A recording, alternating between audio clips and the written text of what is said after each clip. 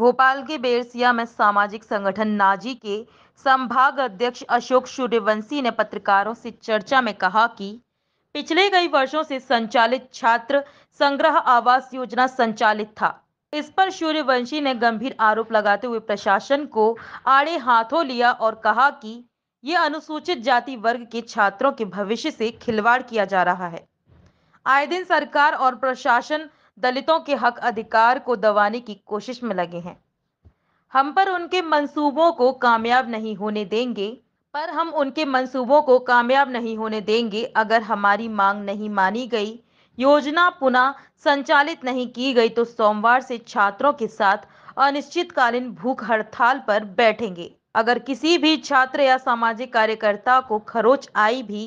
तो उसकी समस्त ज़िम्मेदारी प्रशासन की होगी। देखिए निश्चित तौर पर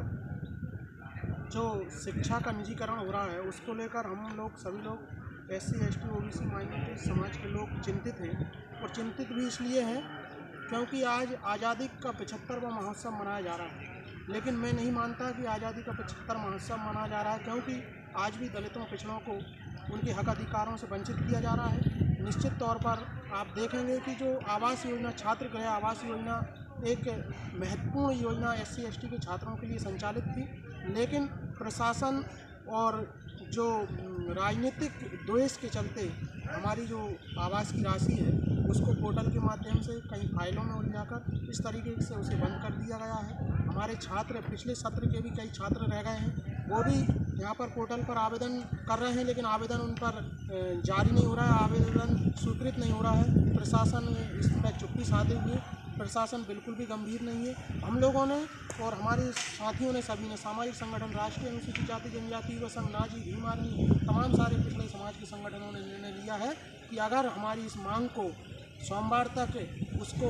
माना नहीं गया। सोमवार तक पोर्टल संचालित नहीं किया गया तो हम अनिश्चितकालीन भूख हड़ताल पर बैठेंगे, जिसमें अगर किसी की भी जान माल को किसी प्रकार की क्षति होती है तो उसकी पूरी पूरी ज़िम्मेदारी शासन प्रशासन राजनीतिक सत्ता में बैठी हुई जनप्रतिनिधि विधायक सांसद इसको लेकर हम आज इसको लेकर ही हम आज बैठक में निर्णय ले रहे हैं कि अगर सोमवार तक पुनः हम उनको चेतावनी देना चाहते हैं कि सोमवार तक अगर आवास जो स्वीकृति नहीं हुई तो हम भूख हड़ताल अनिश्चितकालीन अनशन पर बैठेंगे बहुत बहुत धन्यवाद।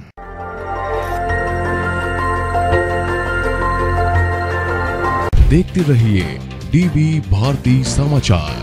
नज़र हर खबर पर।